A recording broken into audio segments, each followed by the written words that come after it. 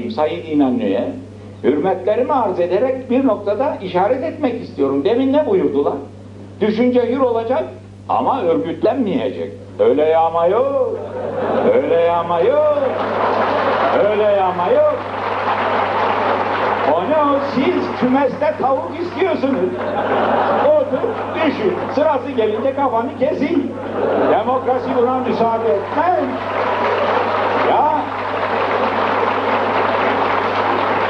Buraya, buraya erkekçe konuşmaya geldik. Biz yıllardır bunun hasretini çekiyoruz. Erkek olan çıksın buraya. Bak açıkça ifade ediyorum. İfade ettiğim de kendi icadım değil, bilinen bir gerçeği teyit ediyorum. İnanç ve fikir hürriyeti dört unsur olmadan olamaz. Bir, ifade hürriyeti. Ben böyle inanıyorum. Herkes inandığını söyleyecek. İkincisi, yayma hürriyeti. Herkes her türlü vasıtayla inancını yayacak.